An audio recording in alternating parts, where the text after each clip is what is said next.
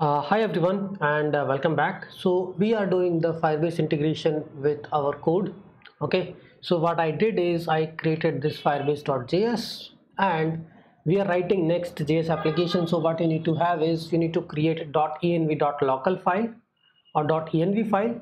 So whenever you do the npm run dev, it actually creates a next.js build and it will pick all these process environment variable from env.local. Okay same thing you can create this and these are the firebase configurations.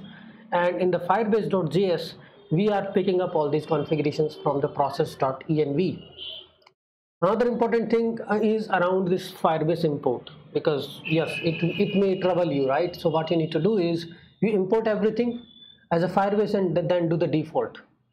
Otherwise uh, so in some code you will see firebase.initialize app. No we are importing everything in the firebase and then doing dot default dot initialize app dot default dot auth. Once we get the auth from here now we just need to do auth dot. So there are different methods available right? Auth dot. Here you can see the fetch uh, sign in method for email and password. Create user with email and password. Confirm password reset right?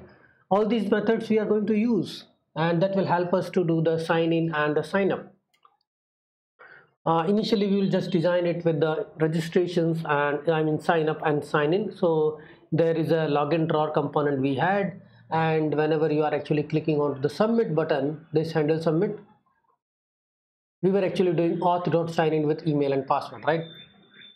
Similarly there is a registration drawer. And uh, here also we have this handle submit button. We can we have already imported auth. So we will just use the same method auth dot. Here we can use I think create user with email and password. We can pass email comma password. I mean we can use the same uh, same method which we have used here. Only the method name has changed right? And we can have one error. So this is our registration drawer and we just replace this part. We are passing email and password we can have one error column set error.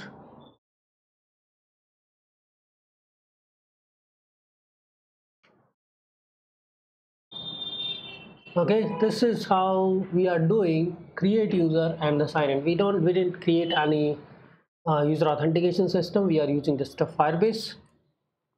And we are using only email and password. I mean we are taking phone number and name and all, all the other things also but we are not using them now uh, we can do what we can do is uh, we can just test this feature right? How it is working. So after this so now we actually baseline the authentication system and all. So let's uh, let me populate the correct credentials.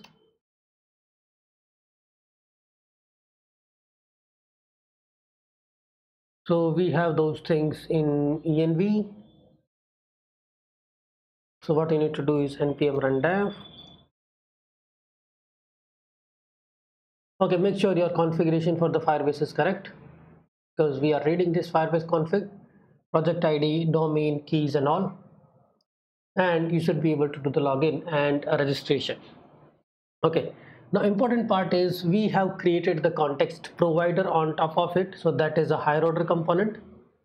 I created this user context and here we are checking the auth state right? This is the auth coming from the firebase and whenever the auth state is changed we will set the user to the user auth whatever we are getting. So you are actually doing registrations or login.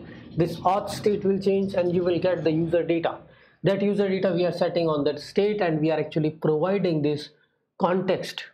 I mean we are passing that in the context provider and we are using this provider in our main page. If you see we have added this user provider after apollo provider right?